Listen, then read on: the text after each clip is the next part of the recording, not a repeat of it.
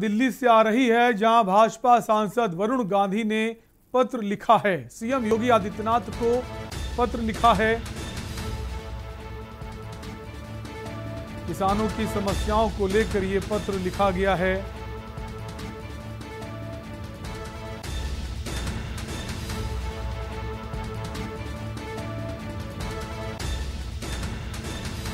वरुण गांधी ने यह पत्र लिखा है।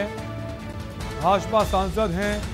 वरुण गांधी जिन्होंने ये पत्र लिखा है, सीएम योगी आदित्यनाथ को ये पत्र लिखा गया है। किसानों की समस्याओं को लेकर ये पत्र लिखा गया है।